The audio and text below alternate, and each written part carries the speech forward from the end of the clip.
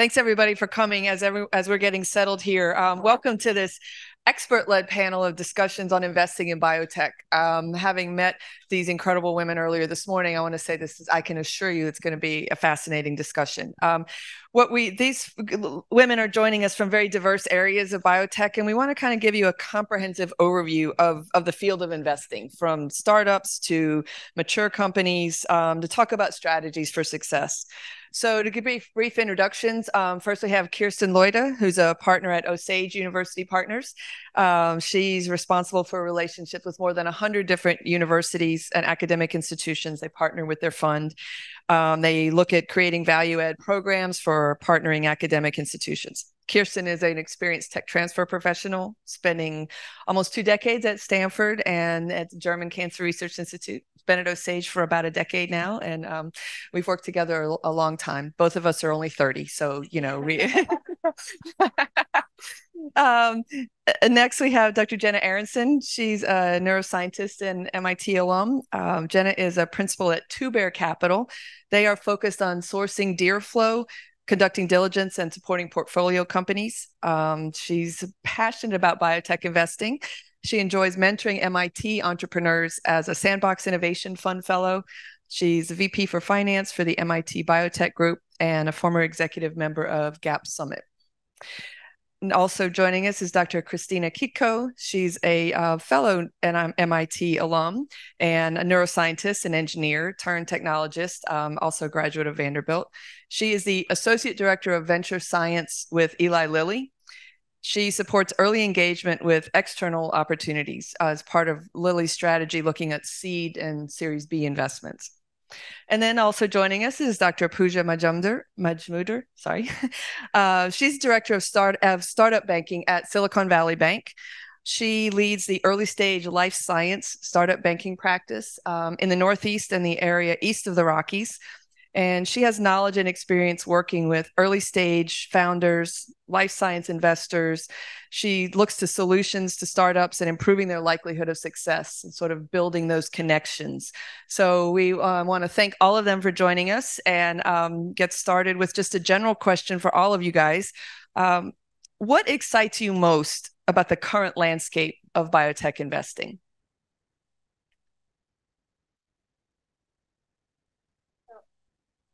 Oh, yeah.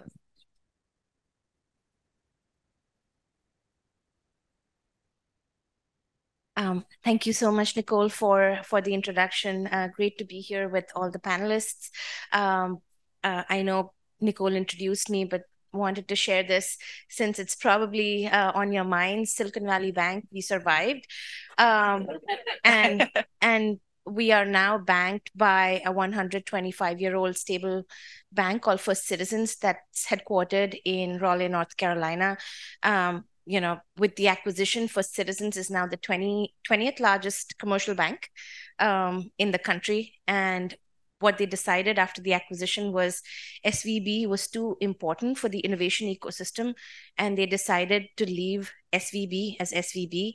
Um, we are still doing the same thing that we did prior to March 9th and 10th, is serving the innovation economy. So my role um, is working with early stage startups. So going back to Nicole's question, um, what is exciting uh, me in in you know uh, these days a couple of things, but what comes to top of mind is um, the use of generative AI. So again, uh, I won't be surprised if generative AI is is named uh, Time Magazine People of the Year at at, uh, at some point in time because uh, you know it's uh, it's it's doing incredible things in the um, in the healthcare space, uh, not just from you know helping uh, mine farm uh, the huge data sets that are available you know in in the healthcare ecosystem.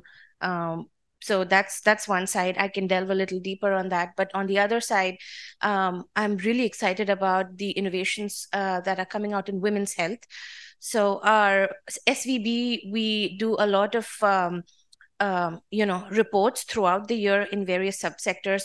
Our mid-year healthcare investments and exit report uh, came out in June 2023, and you know we had a small segment on you know the women's health landscape. The the the funding and investment environment hasn't been pretty. Uh, it's been a bloodbath, uh, and the women's health space hasn't you know been spared.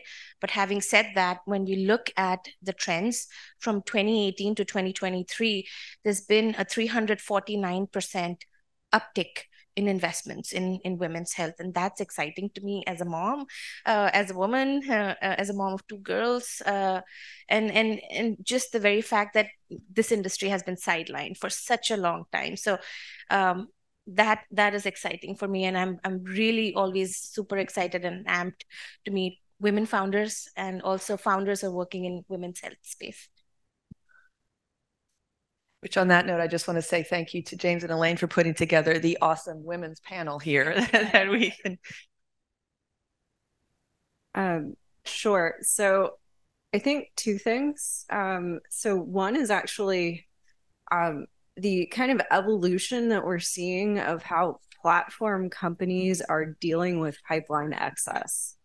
Um, and so what I mean by that is to say something super broad, which is that, you know, no matter what sort of therapeutic area you're in. Um, a lot of these platform companies that we're seeing have, you know, really, they're built on really cool technologies, but they're actually spinning out more assets and more targets than, you know, as a startup company, you are, uh, you know, reasonably able to think about commercializing downstream. And so one of the things that um, both uh, you know ourselves and some of our other peer pharmas have been doing have been has been to think about alternative models for engagement for those assets. Um, and so we have a model called Catalyze, where we actually will take those assets and par- partner them for uh, sort of backloaded milestones. So we see that as a way to actually get more things into trials, to get more things through trials.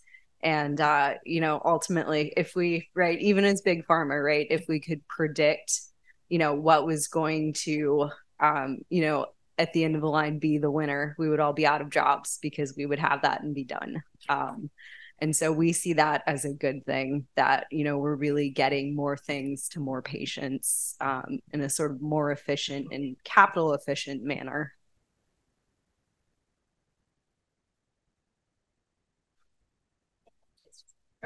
Is it on? Okay, perfect. Hi, everyone. Great to be here. Um, love being on this panel uh, with other phenomenal females. So thank you for putting this together. Um, so I think you guys have both touched on really kind of exciting points that are that are happening in the space. Um, I'd like to highlight another area that I'm very excited about what's been happening over sort of the previous year, and I think will um, also you know bode well for the future. And that's really in the the space of neuro. And so neuro has traditionally been a very very tricky area to develop therapeutics in and part of the reason is we you know didn't have good understanding of the uh, what's underlying those diseases especially neurodegenerative diseases uh, you know what's happening at the cell molecular level and um, you know what genetic drivers uh, differentiate patients into subpopulations. And so um, i think that it's very exciting that recent advances have allowed us to, uh, you know, basic science research has allowed us to understand what's happening and how to differentiate groups in order to develop more targeted therapies. And, you know, um, both on the institutional as well as strategic investment side, we're very excited about therapeutics that really have a strong connection to the underlying genetics. Um, I, you know, this is really helpful. If you take a look at what's happened sort of in the field of, of cancer oncology, it used to be that when you had um, a tumor, the way that it was diagnosed is, hey, where in the body is that tumor located? Um, you know, what organ is it next to? And that would be, you know, how the treatment approach, um, you know, would go forward. Now, at this point, you can do sequencing, you can understand what the driver mutations are, and you can have a targeted therapy. And so we're able to make much more progress in the oncology space because of that. And I see the same thing happening in neuro. And the second thing that's happening in neuro that's really exciting. Um, if you've been following the news, uh, was approved in ALS. And what was really exciting is that there was a blood based biomarker, neurofilament light, that was also given the thumbs up from the FDA as uh, a biomarker that could be used for monitoring um, success and response to the therapy. And that's huge for the neuro field because we really need these biomarkers in order to understand in real time or you know in short order our patients responding to therapies and that will allow us to create a positive feedback loop to really develop therapies that are um, effective and safe and to identify the populations that are you know going to respond to them so i'm excited for what's been happening and what's going to happen in the neurospace so those are all really solid science answers. I'm going to take a little bit of a um, different tack on um, my answer to this question, and it's based on my experience, which is more on 30 years in in the technology transfer, startup, et cetera, um, world. Sorry for the feedback. Um, and and what I'm excited about is, you know, having seen this space evolving over time, is the fact that um, people have really come out of their or groups have come out of their silos and started working um, together more and saying that we can actually do this if we better if we actually all work together. So um, uh, the um, scientists at the universities um, are much more uh, willing to collaborate with one another. More and more, we see startups that are multi institutional startups. So they don't have IP just from one institution they have IP from lots of different institutions, and they're figuring out how to work together, um, uh, or they're they're collaborating, and the piece of IP actually just has inventors from uh, multiple institutions associated associated with them. Uh, the institutions themselves are trying to do more um, proof of concept funding, gap funding, translation, translational research funding to develop the um, uh, technologies more, uh, and then the strategics are coming in and saying, "Hey, we'd like to help with this as well," and get a, a sense of what is going on with this uh, earlier. So this could be something that we could be interested perhaps down the line. And so it's just this um, sense that people are all trying to groups are trying to work together and actually make this much more efficient than it used to be instead of people working uh, in their silos. So that's one of the things that most excites me um, about what's going on. The other thing that excites me, um, and this is because uh, I think my superpower is being an optimist and being an enthusiast, is that um, everyone's, you know, like, yes, startups are having a lot harder time with funding right now. Um, it's it's it's a very um, difficult environment out there right now. But the fact is, there's a lot of capital capital out there. Um, it is it is there and it is going to be deployed some point because it has to be deployed like that's that's part of what the the, the funders uh, do um, so to me things are going to progress and it's part going to progress because of the, the science that hasn't stopped at the institutions so I'll pause there. I'm sure I have more to say on this.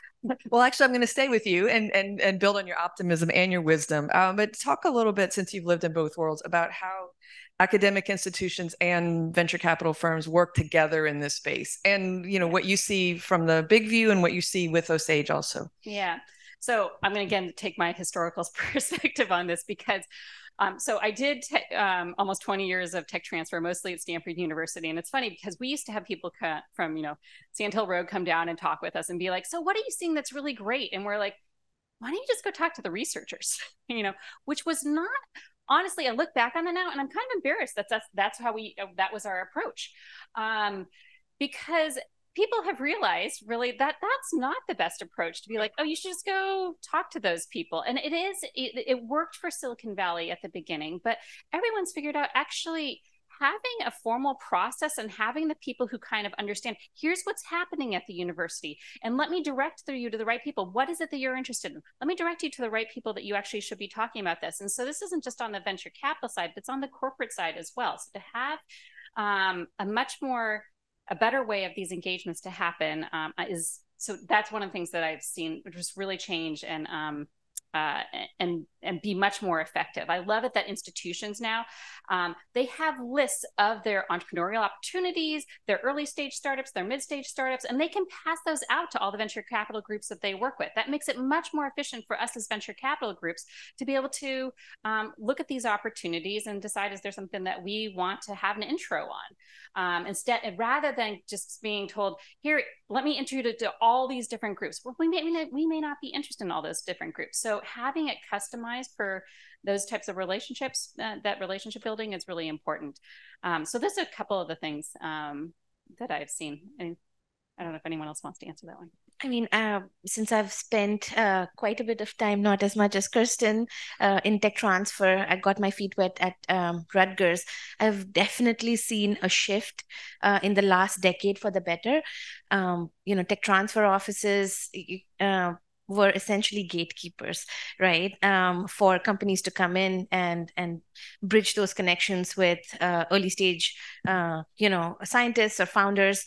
But now i've seen uh, a shift in you know tech transfer offices being uh, more adept at supporting founders who really want to go the entrepreneurship route. So for example, you know, Columbia, Duke, a lot of these progressive tech transfer offices now ha- have been able to pull together resources, not just to provide gap funding to de risk early stage technologies, but also provide in house expertise by way of, you know, having EIRs or bringing in, you know, the experts, the consultants, the talent that early stage founders need to, you know, speak with, you know, uh, get information from. So yeah, I, I see a positive shift uh, in the last decade in, in tech transfer and how they're bridging the connection between early stage founders and industry.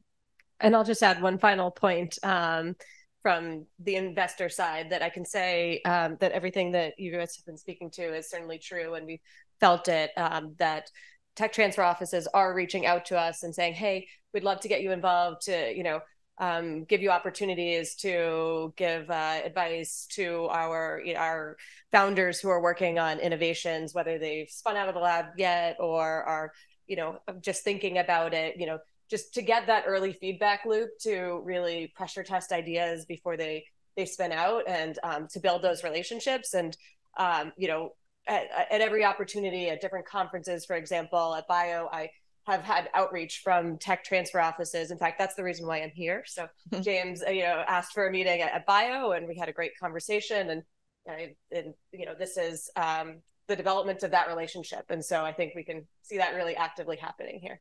Yeah, I think that is something that's really shifted in the in the approach um, for most universities, and their their tech transfer has evolved into engagement you know it's innovation it's partnership it's engagement. And whether you're a public or a private university um, we know that we we we serve our publics by connecting and pushing stuff out and connecting whether the you know with the small companies large companies but it's more than just an invention a patent uh, you know come what you can get from us. Um, so kristen i was wondering if you could tell us a little bit about from eli lilly how you see this and your investment strategy and what works you know with how people interact with you yeah, so I I think everything that you ladies have said resonates. Um, I will say, you know, also to be kind of kind of the brutal realist in the room. Um, you know, the engagement that we see, it's not necessarily a fair playing field. Um, you know, we have Nobel laureates that we have funded five of their companies because they have been on our board and they have a direct line of sight um, into our ventures fund. And so, um, you know, places like Stanford, I think there's also kind of this bifurcation um, that, you know, there are a few founders that have, you know, just serial numbers of companies. And, uh, you know, I think we're actually seeing more innovation from places that are not like Stanford that have to really, you know, take a step back and think about you know, not only how do we get our academics to engage, but our trainees. Our trainees are excited about biotech. You have programs like Nucleate. Um, is a platinum sponsor of that, where you know there are likely folks. I've met folks at Tulane um, and LSU actually that are engaged in programs like that, um, and so we have, um, you know, I think models where we're not directly investing necessarily, but we are investing in kind of building the talent and uh, providing mentorship and getting folks ready to where they can ultimately pitch to Lilly. Um, and so, in terms of what Lilly is interested in, um, we are the corporate venture arm of Eli Lilly. So, we are not um, sort of wholly uh, siloed off from parent Lilly. So we are then interested in neurodegeneration, diabetes, pain, immunology, oncology, and genetic medicine. So we do tend to invest fairly close to what we consider our core therapeutic areas. We are a strategic investor, so we are not motivated by financial return. Um, for us, the goal is really bring cool science to the attention of broader Lilly as early as possible with the goal of converting that either into an acquisition or a collaboration or some kind of deal within our pipeline. So we are very science driven. Everyone on our team has a PhD. Um, we're very out there in the world, like many other venture folks. Um, and um, you know, we we really do see it as kind of the first gateway into working with Lilly is through our team. I just follow up on something you said? Maybe uh, think that, and one of the things that we we often talk about, um, but I, I I'd like to mention it to this audience too, is um, when you if you do decide to go the venture capital route, and honestly, the venture capital route, first of all, is not for everyone. It is really not for for the vast majority of startups, and that's okay. There are a lot of other things, ways that you can raise money, and it's not as costly as venture capital. So that's a whole nother conversation that we could have, but we're not. Going so, but just FYI, like when you have a meeting with a venture investor, um, one of the best questions you can ask is like. Um, is who else do you think you know on the venture side would be interested in what it is that we're doing? Because and not even asking for the intro for them to make the introduction because i will say that's uh, something that else is a you know like every time you ask a venture capitalist to give you an introduction to another venture capitalist it's a there's a whole system about how that works. But you can call cold call. Venture capitalists do respond to cold calls. But you understanding um, who might really be the players in your particular space is really important you're doing their homework on that is is incredibly important. And um, and so you know when you're talking with a venture capitalist ask them who they think actually might be interested in the space that you're actually working in and you'll get some good names then that you can follow up and you uh, up on. You're going to have to do a lot of the legwork yourself um, so I just wanted to. Yeah, that's that's a an excellent point, and I'll just add a little bit there. So, absolutely, you know, I think it's it's great if you can, you know, do your homework ahead of time and figure out maybe through LinkedIn or something else if you have, um, you know, somebody who knows somebody at a firm that you think would be a good fit. I guess take a step back, figure out who the right firms are in terms of the areas they invest in, the stage they invest in, um, therapeutic modalities as well as indications all of that is really helpful because you know if ultimately that firm isn't going to be the right fit for you then um, you know it's it doesn't matter if you get a meeting with them. So so do your homework ahead of time and then see if you can figure out how to get a warm introduction. But if you can't we we get all sorts of cold inbounds and some of them are for things that have nothing to do with the areas we invest in. And it's clearly somebody who's just you know maybe even set up a bot to you know just send a lot of emails and and we can tell when when that's the case. And um, you know i think what you put into it is what you get out of it. We also get emails where somebody we've never heard of reaches out and says hey i saw that you invested in this company and um, that you're interested in this space and this is what we're doing and um, you know here's the reasons why I really like your approach um, or you know your your style of investing. And that's really captivating to us. I mean that's that shows that you know somebody has really um, thought about why we would be the right partners to work together. And um, you know if you do go the venture capital investment route just remember it's not just a check you're getting. This is a relationship that you're going to be forming. Oftentimes you hear it's like a marriage because you know you're going to be working together call it a decade maybe more and maybe even longer than that. We have founders in our in our fund who have worked with us on previous startups. So you know you, you this could be a lifetime of a relationship. And um, you know starting it off on the right foot and making sure that it's you know a good personality fit as well is is you know really really great way to to set the stage. So i just want to piggyback on what jenna said and we were discussing about this last night. Um, it's it's there is absolutely no excuse in this day and age for you to not be able to do your homework before you approach investors. There's there are a ton of opportunities. Um, SVB, we have a program with um, Launch Bio where uh, it's called Investor Connect, where we bring in investors and you know help founders get in front of the investors. The the founders do a one minute pitch. There's no slides. You have to be very succinct, very crisp, drive home the point, and then the investor gives a two minute feedback. So that's a program. There are a lot of programs. Yesterday, one of my colleagues, we have a strategic partnership with Lab Central um, in Boston. They were doing an amazing boot camp for which we pulled in investors. We had key ecosystem stakeholders to do a half day boot camp and it was open for all all you have to do is just keep your eyes and ears open network uh, because i know cold you know outreach works but only to a certain extent. So whenever i work with my founders i tell them please plant the seeds ahead of time. Do your research because um, when so i'm i'm the value add um, for the startup banking team at svb um, and you know having been on the academic side i kind of understand the the personality um, of early stage founders especially academicians. And for them to do outreach is you know probably uh, it doesn't come naturally to them. So a they have to get used to it. And b you uh, you really have to do the legwork even before you form the relationship. So again plus one on whatever you know jenna and kristen said about you know venture money is not for everybody. Yes it's not for everybody. So do do that research um, ahead of time know who you're going to be talking to um, you know uh, be authentic and yesterday i think Christian was on a panel and he said, "Be be vulnerable." Justin said that I believe in his in his panel session. So, yeah, be open, but be smart before you approach uh, investors. Yeah, that's great. And actually, you've touched on what I was going to ask you to start with is um, what are some of the, other than no excuses for no homework? Um, uh, what are some of the other most common pitfalls that that you see early stage biotech startups um, encounter when they're trying to secure funding? You know, when they're starting at, at whatever level of funding, where where do they fall down?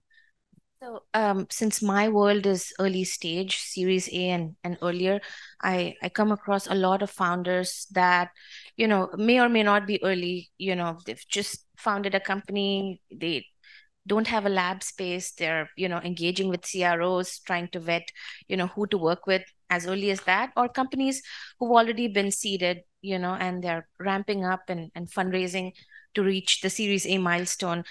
There are uh, maybe you know this can be a, a separate topic in itself but just want to highlight a few things that at least i have seen in my experience working with early stage founders is I know they are strapped for cash uh, early on, and I've seen a lot of PIs just because they've worked, you know, uh, you know, in research, writing grants. They want to write their own provisional patent applications. So I'm I'm talking about founders who have not worked with the tech transfer office, but are kind of charting their own path. You know, not investing in in strategic sector subsector specific legal counsel in the you know in the get go you know you're trying to save dollars. But what i tell founders is a you're not paying for you know the time um, of the ip attorney. You're actually paying for uh, his or her expertise plus their network. At the end of the day um, yesterday this this came up again. In the early days you have to surround yourself with the right people because they are going to be your gateway to your next connection which may be very important uh, or critical you know depending on um, you know what your conversations are. So going back to early stage founders you know they don't know what kind of company you know they should be forming an llc or a c corp. Okay you need to have you know the the right information the right accounting firm the right legal firm. Um, there are a ton of resources available at the state level um, you know, in terms of uh, tax credits, incentives. Figure out where you want to be, what state uh, you want to have your company in. Um, and this another thing I tell early stage founders is uh, if you buy cheap, you buy twice. So it's not that you have to put in a lot upfront because everybody understands you're a founder, you're cash straps, but we have a way to work with you. So figure out who is going to be with you for the long term. Don't work with somebody who will work with you in the early stage and say oh by the way you know you should work with x vendor or service provider once you hit this milestone. No.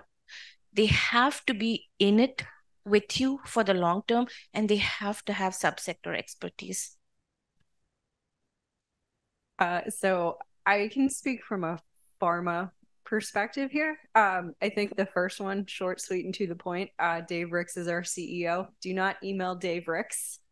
Uh, that is that is not going to help, even if you play golf with him. Uh, you know, a, again, I think you know we talked about this previously, but you know, take the time to make sure that you are reaching out to the right person. Um, the second thing would be, you know, if you are coming to a big pharma um, and you have a pitch deck, that is terrific. We do venture investing.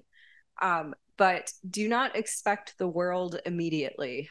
So that is one of, I think, the key things that, you know, we have folks come to us saying, I have an idea for my academic lab and it's going to change the world. I want a $20 billion partnering deal. And there's no data, right? It, for us, it is, you know, really important when you approach us to, you know make those initial conversations realistic. And the way that i would suggest doing that is getting us excited about your science. You know we understand that companies you know might not have every skill set legal skill sets you know CROs in place even. Um, we are willing to work with you there if you get us excited about the science. But uh, you know also don't tell us, oh, we're well, we're going to be the next Celgene with no data, and um, please write us a check. be, be realistic. Yeah, I think um, you guys have both made excellent points. Um, one piece of advice that I remember, you know, hearing early on, and that I really want to amplify here in this um, in this space is in the excitement and the rush um, to form a company and spin out and be an entrepreneur, don't forget that the safest place that you can be is academia. This is your warm, nurturing home environment that doesn't come with a burn rate, doesn't come with, you know, paying rent and, you know, thinking about, um, you know, everything that goes along with paying salaries and benefits and a lot of other pressure. You have access to core facilities um, you have access to partnerships and collaborations that will either not be available or be a lot more expensive in terms of getting samples. Um, so do as much as you can in academia to de-risk your science because if you do, you'll have a better data package when you then go to raise money. And here's the thing the most expensive money that you'll ever raise is the earliest money. So, you know, when you're taking a small seed investment from angels that you're selling equity in your company and it's very dear. And you know later stage you might see these you know 100 million dollar plus rounds and they're selling 20% of the company. But early on you might be selling 20% of the company for 1 million dollars. So the stronger the data package that you have when you first go out to raise that non-dilutive capital the better you will be for the long term. So I, I, I can't emphasize this enough. Do as much as you can, you know, while you're still in academia, and um, and uh, get it, become aware of all these opportunities that we're talking about. You know, get yourself in as many uncomfortable situations. Um, I, I talked to somebody earlier over breakfast, and we were talking about a safe space where you can have like a a total honest teardown. You know, welcome those opportunities to get that feedback, listen, iterate, do those scary, you know, experiments, the go no go experiments that you know might give you an, an outcome that you don't want to hear. Don't shy away from those. Do all those as much as possible, um, and then explore non-dilutive options. You know, SBIR, STTR grants. Those are excellent ways um, to really um, you know get further along before you have to you know go through the process of of dilutive fundraising. I'm going to answer this one as well because I actually think this is one of the most important questions that we can we can talk about um, uh, because it will make everyone more successful in the, uh, the long run. Um, and so I'm going to talk about some things that you guys talked about. Maybe um, go into some other thoughts on them. The there are two top things when we're looking at life science opportunities. There are two main things that we're looking at. There's a whole host of other things that go underneath this, but the two main things we're looking at are the science and the team. And um, for the science part that you were just talking about and the de-risking um, understand why you're what you're de-risking and why and what it is that you're doing to de-risk. And does that actually align with um, what a biotech a pharma et cetera would want to see as far as de-risking? You may think that from an academic standpoint that that's what de-risking but this is why it's important to have kind of this is this that this going back to the collaboration and uh, bringing other voices in is uh, you know get people um, advisors in who can tell you like what are the right things to do next and why that is um, so um, that's from the science side. On the the team side, um, uh, when I first started at um, OUP, um, I sat in a lot of our pitches, and I could almost tell right away which ones we would even talk with again. I mean, it was just within ten minutes. It's kind of like when you do a job interview with someone. Um, you have a sense, you know, like this person is going to work out or this person's not going to work out for this. And um, one of the one of the fatal things that would happen is that um, there would be a group pitching with us, and they didn't know who one was was supposed to speak when and about what. Like so, they didn't have uh, they did so it was clear to us they didn't know whose job was what yet. And um, so you're developing your team, even if it's not going to be the team that's going to be forever with the company, because that rarely happens, right? We all know um, you are all, you know, mostly in academia, you know, like your team changes over time, and that's okay. But we want to see that this is the right team right now for this opportunity. Um, or if it's not the right team yet, like you're missing a position, how that's going to be filled. Or are you looking to the venture side to help you fill that particular um, position? We want to we're investing in the people um, uh, just as much as the science um, the last point i'm going to make on this is that uh, there's this wonderful um, survey that i think has been done a couple of times now um, by some people at uh, you know uh, institutions uh, where they go out and uh, interview venture, venture capitalists. They survey the venture capitalists about why things fail versus you know they actually succeed. And if you look at overall in the in the venture capital industry, um, why things fail or succeed um, is usually team. Um, but if you go down to life sciences, why things fail, the number one thing is the science doesn't work. The science doesn't work once they take it out of the university. And so going back to your points on de-risking, that's why de-risking is, is so um, important and why the right, perhaps, next experiments need to be done.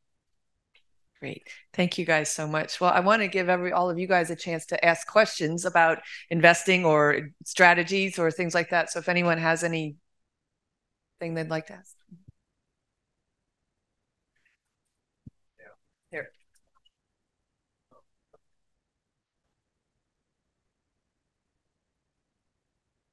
Thanks again. Great panel. Uh, my question is actually some you guys uh, already uh, touched upon you know, when we talk to potential uh, people, especially have more experience on the venture side, you know, they're basically the same advice as you guys mentioned. So don't come to us so too soon, and, and you know, the, all these non-diluted monies out there is supposed to chase. But then on the other hand, I mean, I really want you guys to tell us when is the right time to actually uh, start the conversation with you. Thank you. I can jump in here. That's a great question. And I'm, I'm glad you brought it up because it's kind of a, a corollary, which is although we might not be ready to invest at that time, um, relationships are critical. And my favorite time to connect with someone is when neither of us needs anything. Um, and it's really kind of a genuine organic relationship and we can build that and um, you know i love talking to to early stage companies um, this goes back to you know why I, I, enjoy connecting with tech transfer offices. I like talking to folks early on and you know help them say hey you know here's a good experiment that you should do. And um, you know when you when you have that uh, opportunity to develop those relationships then um, you know when it is the right time you've already kind of developed a, a relationship of trust and it's much um, better for everybody to sort of move forward. And I would say, you know, when when a you're having a conversation with an investor and they say it's too early, you should actually, you know, respond back and ask, what kind of data package are you looking for? That's a very reasonable and fair question, and you're going to get different answers from from different firms. Absolutely, there's there's going to be a wide range of answers, um, but they should be able to tell you that, you know, and um, and then you can, you know, sort of use that to figure out, uh, you know, when the right point is to reach back out. And, you know, I do recommend that if you have some sort of a substantial update, you know, you send us sort of a, a little email saying, hey, just wanted to let you know we, we had this progress, um, you know, whether that's, you know, in six months or in a year, you know, just having that, you know, sort of refresh of the touch point. So it's a great question. Yeah, it's a really good question. I'm, I'm going to just add on to it, having been both on the university side as well now the the venture side. I, I I've I've learned actually um, that uh, so first of all, we all, we all know that venture capital, like right there, are, you receive you know the hundreds of approaches you receive, you invest in one, right? Like that's that's how it works. But if we don't have the information, we're not going to be able to make that investment. And so, like we have a Salesforce database that we use to track all the companies. We're tracking nine thousand active companies right now, right? But we're going to make a handful to you know uh, you know several investments per year, new investments per year we do the same thing where we're not like a one and done conversation type of venture firm. We want to know about the opportunity and we'll track it. And if you get feedback from us, like, here is what we would want to see, and you follow up and say, hey, we did that, like, that's fantastic. We have actually a number of the investments that we've made were investments that we passed on the initial rounds. So you do have to do that follow up. It's a lot of like working with venture people is a lot of work. We we totally get that. Like it is not, and it's and the other thing that again, but going you know working both in academia and now venture is that. Um, you're going to get a lot of rejection. And I realize on the academic side, you know, that you're like, yes, you get a lot of rejection as well, perhaps for grants, et cetera you're going to get even more rejection from the venture side. And um, and sometimes that can be hard. And so sometimes it makes people kind of nervous like oh like do i really want to keep pitching to these investors? And they ask you know these questions and they're not experts in the field. Well you have to help educate them. Um, but realize like they're they're on your side. They want to find the best opportunities but the vast majority of the time they are looking for every reason to say no until they can't say no anymore so, um, and just to your particular question about uh, what we invest in, like we invest from seed to pre IPO rounds. Um, we typically are not a lead investor. So, we typically are a co investor. So, it's just understanding what that is that we're looking for at that time and understanding that, and then taking perhaps what we tell you about why we're not going to invest. Um, you know, if we're not going to invest, maybe we will. um, but taking that feedback and then being willing to re-engage. It's it is a slog to talk with venture investors. Like if you get if you get a yes right away, like that's that's amazing. I just I just want to piggyback on on Kirsten and Jenna's reply. So plus one on um, you know what they said. Uh, I've seen this with academicians when they're pitching to investors. A brilliant if you have their attention. B um, if you have a one hour time with them, please manage your time and don't do a 45 or a 50 minute pitch and leave 10 minutes for feedback. No, do the opposite. Pitch for 20 minutes, get feedback for 40 minutes. And I'm nine out of 10 times or 10 out of 10 times, it's going to be a no, but use that feedback to to improve uh, you know in the coming months and years. And i've i've seen investors you know once they like the idea you know it's a it's a no from them but they want to see more data. Like some of them are on you know text basis with a lot of founders. Hey you know um, haven't heard from you any updates? So it takes two three four years even before you know some investors put in their first check but you have to plant the seeds early and get to know the investor and what they're interested in. So yeah, just I just realized we didn't actually answer part of your question, which was actually um, when do I approach VCs? What stage of my company and so I apologize. I'm going to jump back to that. Um, so venture capital, as we said before, is very expensive. Um, usually, you're looking to venture investors when you're raising millions plus of dollars. If you're raising hundreds of thousands of dollars, you're not looking for venture capital, right? Um, so um, and in the life sciences industry, you're going to be raising at least five million, but most time, like if you're in therapeutics, you're raising tens of millions of dollars typically at that point. So it's it, and then it is what it is you're doing with that capital. So the venture capitalists are going to say, like at this stage, I would be expecting you to do A, B, and C with that particular capital, making sure that's aligned with it. So um, I hope that answers uh, that part of your question. Sorry. Hey, great panel. Laura Savatsky from University of Louisville. one of the comments that Pooja made kind of tongue in cheek at the very beginning around Chat GPT being our person of the year um, sparked my imagination. And the panel right now has been focusing on what we've learned from the past, the changes we've experienced in the past 10 years, and this rapid amount of change. What do you all predict are going to be the things we need to be um, ready for in the future around this space of investing in early stage tech? Are there big changes on the horizon in any of your minds? While they think about that, I'll say the big change is that this week the Lasker Award was announced, and it actually is based on some AI related drug development things. So it is not tongue in cheek completely that Times person thing of the year, innovation of the year is that. So and it is moving in that way um, very much. Those folks from Google and their Deep Mind were received that. So yeah so speaking about the investment landscape if we had to track you know the trends uh, in investments in the healthcare life sciences landscape. There's been a significant uptick in investments that have gone towards companies that have adopted AI to truly differentiate what they're offering um, and what their product is. So um, that's that's happening. The other thing that we've seen is even early stage um, companies uh, it's it's not atypical for them uh, you know to be asked or to be acquired at the early stages by uh, you know corporates uh, industry partners because the appetite is is pretty significant at this point in time but i'm sure others have more to add as much as I hate to do this, Nicole, can you wrap I was actually going to say thank you. I mean, we could all go on forever, but I think what we've heard today is that engagement and investing on the time and the relationships is just as is critical to get the financial investment that they're all here. But the investment on your side is is equally important. So I just want to ask you all to thank, give us a round of applause to thank our incredible panel.